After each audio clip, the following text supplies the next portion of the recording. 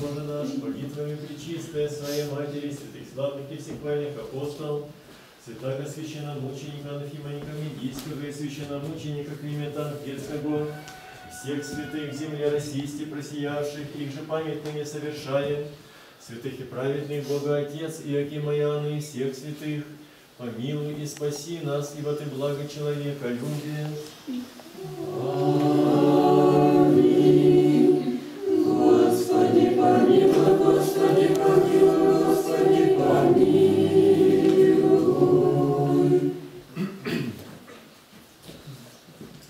Отца и Сына и Святаго Духа. Аминь. Из творения свидетеля Иоанна Златоуста, из бесед на первое послание к Коринфянам. Никакой подвиг не может быть великим, если он не приносит пользы другим. Это видно из примера того, который принес талант целым и был наказан за то, что не умножил его. Так и ты, брат, будешь ли оставаться без пищи, спать на земле, есть пепел и постоянно плакать, но если не оказываешь никакой пользы другим, то не делаешь ничего важного.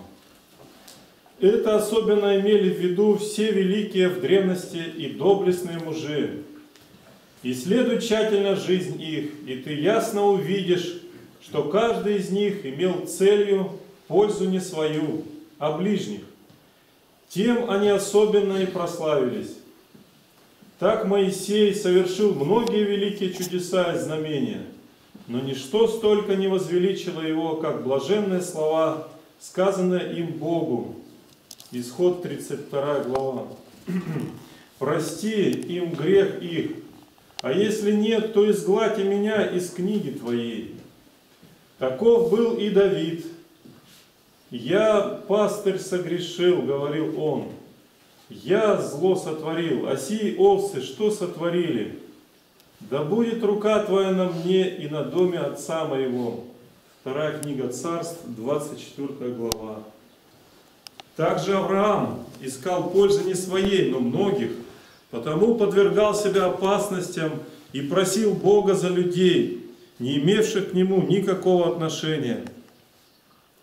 Так они прославились, а искавшие своей пользы, смотри, как причиняли вред. Так племянник Авраама, выслушав слова его, «Если ты направо, я налево», Бытие 13 глава, и сделав выбор, имея в виду свою пользу, не нашел ее. Напротив, страна его сгорела, а страна Авраама осталась невредимою. Иона, когда искал пользы не других, а своей, то едва не погиб. Город стоял, а он подвергался опасности, был обуреваем волнами и утопал. Когда же стал искать пользы других, тогда нашел и свою. Иаков, не искавший собственной пользы от стад, получил великое богатство. Также Иосиф, желая принести пользу братьям, нашел и свою. Когда отец посылал его к братьям, то он не сказал, «Как, разве ты не знаешь, что за видение сны они готовы растерзать меня?» что за толкование снов обвиняют меня, что за любовь Твою ко мне намеревается наказать меня. Чего только не сделают они, встретив меня среди поля. Ничего такого не сказал он и не подумал, но предпочел всему служение братьям, потому и получил впоследствии все те блага, которые сделали его весьма славным и знаменитым. Так и Моисей, ничто не препятствует упомянуть о нем и в другой раз, чтобы видеть, как он не думал о своей пользе и искал пользы других. Проводя жизнь в царских чертогах, к евреям 11 глава, и поношение Христова почел большим для себя богатством, нежели египетские сокровища – и, бросив все, решился разделять бедствие с евреями, но не только сам не подвергся рабству, а напротив освободил и их от рабства. Все эти деяния велики и достойны ангелов. Но деяние Павла имеет великое преимущество. Все другие, оставляя собственное благосостояние, принимали участие в бедствиях ближних, а Павел сделал гораздо больше.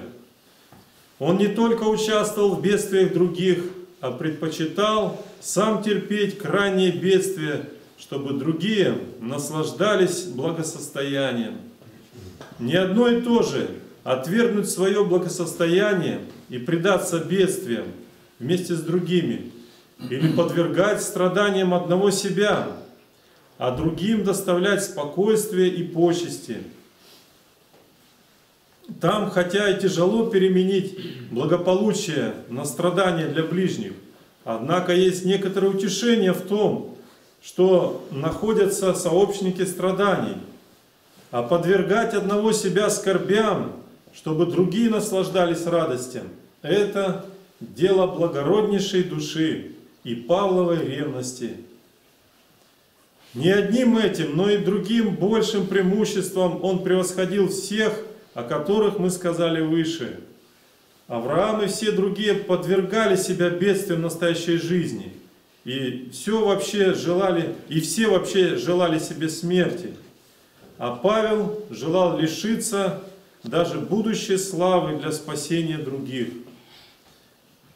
Могу указать и третье преимущество. Какое же?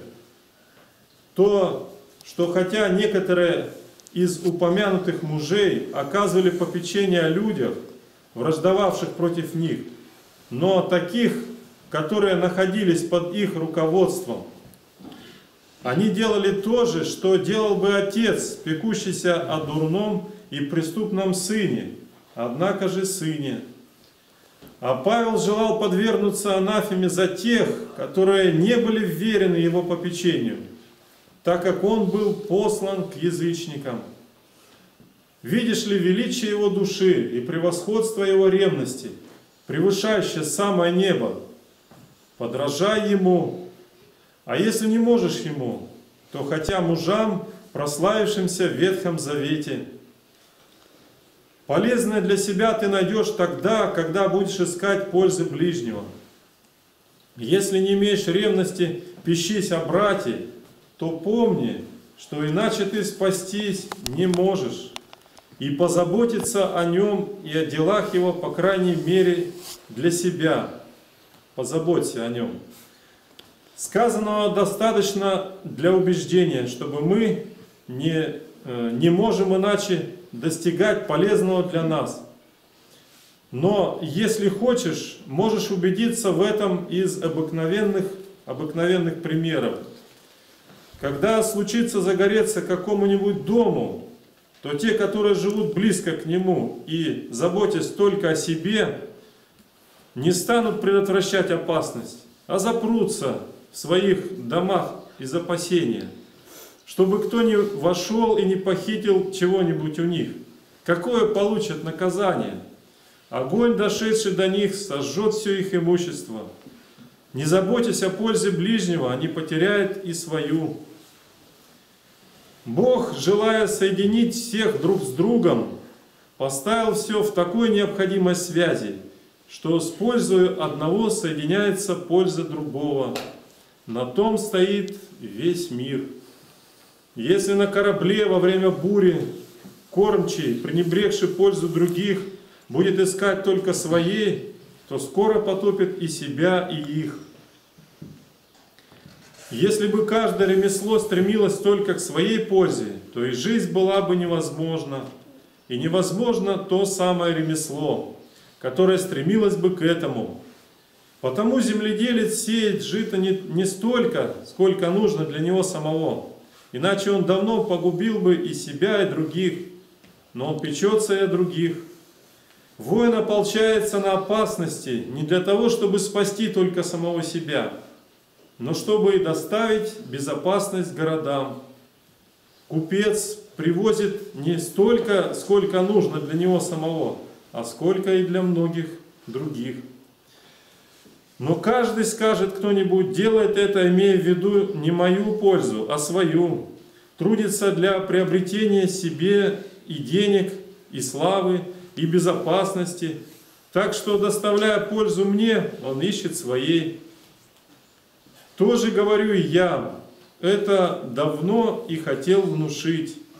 К тому и направлял все мое слово, чтобы показать, что ближний тогда достигает своей пользы, когда заботится о твоей. Если бы люди не были поставлены в такую необходимость, то они не захотели бы искать пользы ближнего. Потому Бог и соединил все таким образом, и не попустил достигать своей пользы иначе, как путем пользы других. Людям свойственно идти таким путем к пользе ближнего, но заимствовать побуждение к тому должно не отсюда, а из того убеждения, что так угодно Богу. Невозможно спастись иначе, если ты упражняешься даже в высшем любомудрии, но не заботишься о других, погибающих, то не будешь иметь никакого дерзновения пред Богом. Откуда это видно? Из слов блаженного Павла.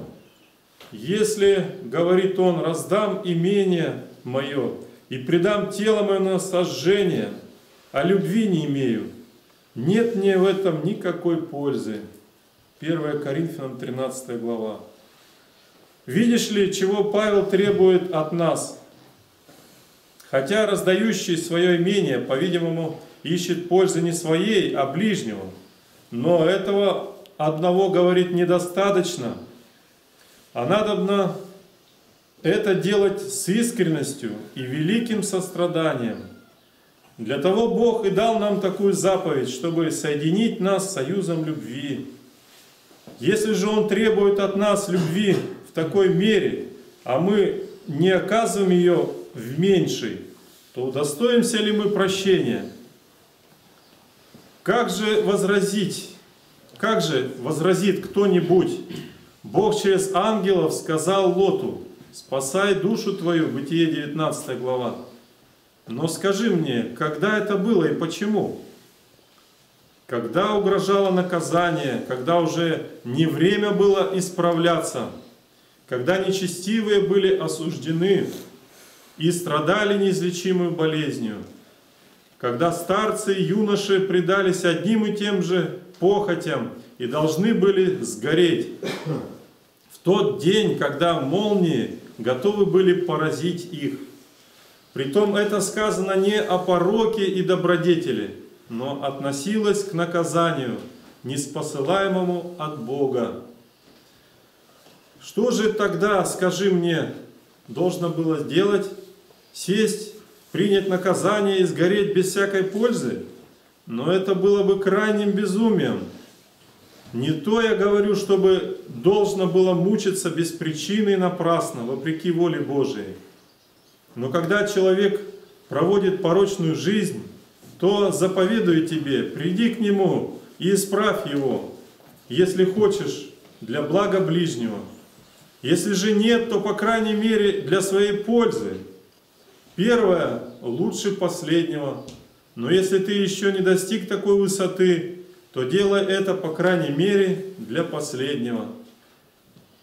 Пусть никто не ищет своей пользы, и тогда найдет ее зная, что ни нищета, ни мучение и ничто другое не может спасти нас, если мы не имеем высокой любви. Будем приобретать ее прежде всего, чтобы через нее нам получить и другие блага, настоящее будущее, которых досподобимся все мы, благодатью человеколюбием Господа нашего Иисуса Христа, которым Отцу со Святым Духом, слава, держава, честь, ныне и присно, и во веки веков. Аминь. Божьей милостью будем мне грешному. Создав меня, Господи, помилуй меня. Вещества я согрешил, Господи, прости меня грешным и помилуй. С воскресением Христовым, братья.